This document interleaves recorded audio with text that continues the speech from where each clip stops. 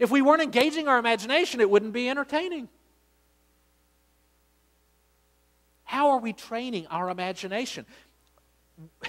I'm not saying that we need to live in a cave somewhere and not engage in popular culture at all. That's not what I'm saying, guys. What I'm saying is we need, when we do engage with popular culture, with entertainment, we need to do it uh, critically. We do not need to do it unquestioningly, where we just passively receive it. We need to ask these questions What kind of lifestyle is this promoting? What kind of lifestyle is this ridiculing? What types of priorities and values are being communicated and promoted?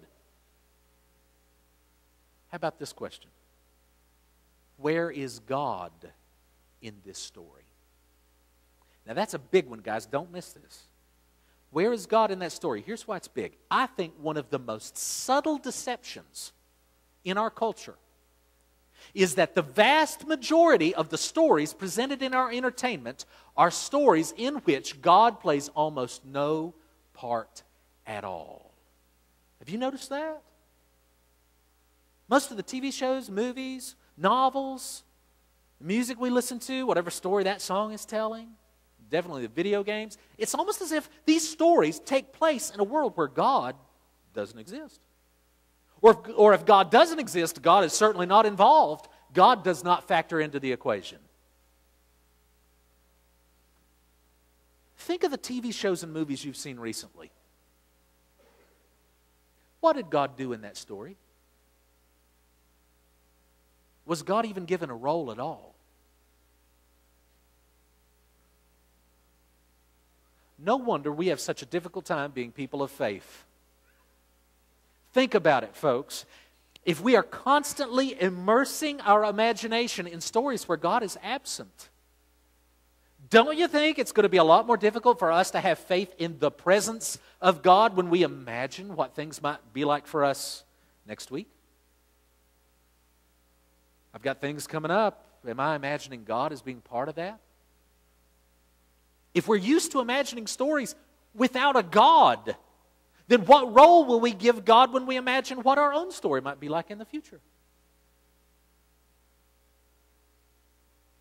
No wonder we struggle with faith. That's how we've been practicing here. We engage our imaginations in stories where God's not part of it. And then we wonder, why can't I have more faith in God?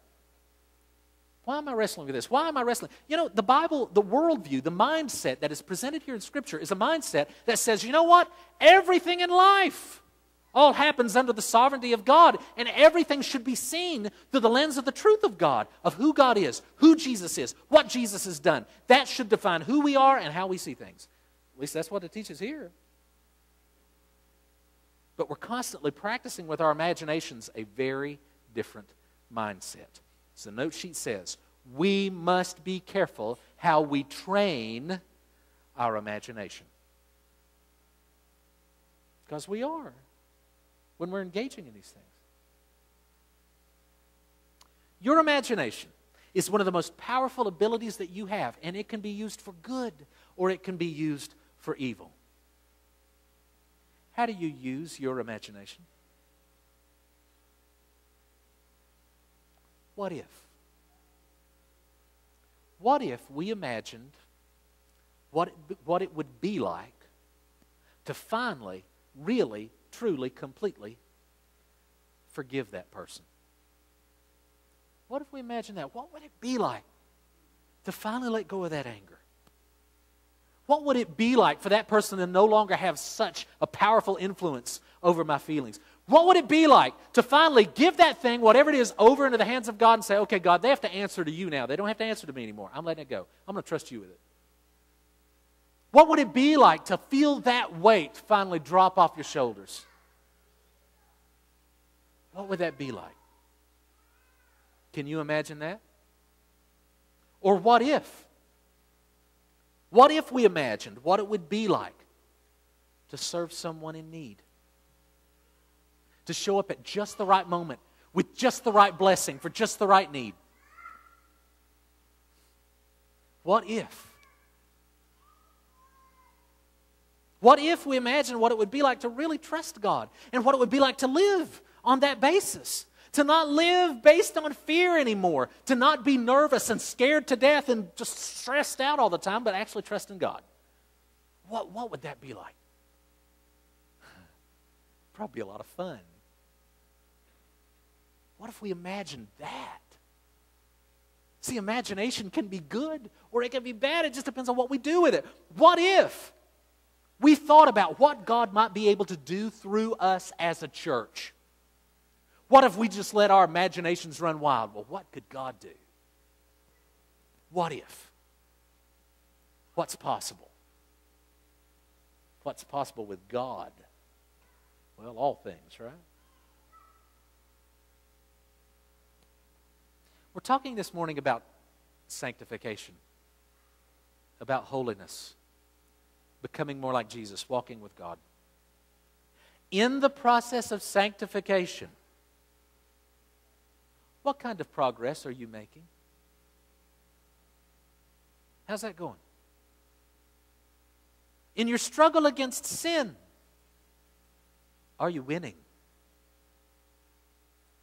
What kind of mindset do you have? How have you been using your imagination on what is your mind set? I want to leave you today with this from Philippians chapter 4, the Apostle Paul writes And now, dear brothers and sisters, one final thing fix your thoughts on what is true and honorable and right and pure and lovely and admirable. Think about things that are excellent and worthy of praise. Keep putting into practice all you learned and received from me, everything you heard from me and saw me doing. Then the God of peace will be with you.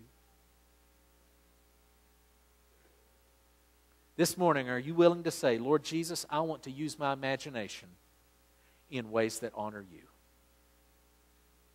I want to stop giving the keys to my imagination over to Satan so that it's actually working against me, stealing peace from me, stealing joy from me.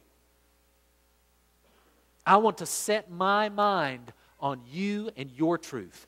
I want to live for you. And I recognize that living for you begins here with what's happening in that imagination. Can you imagine what it would be like to finally say, Lord, nothing held back. I'm yours. I'm yours. Can you imagine that? Just stand. I'll be standing at the front along with the associate pastors. If you need to come and talk and pray with us, we'd be honored to do that for you. If you just need to come and kneel and pray at this wonderful altar space we've been provided with, we, have got all sorts of room here. Maybe the Lord is leading you to become a member here at Berea Baptist Church because you feel that God is calling you to invest what He has invested in you in God's work here at Berea Baptist. And you imagine what that could be like. You're very welcome to come and join us. Whatever the Lord is saying to you, maybe He's calling to you, saying, Quit pulling against me. Let me have it. Release it. Let it go. Trust yourself to me. Surrender. Can you imagine that? Let's pray.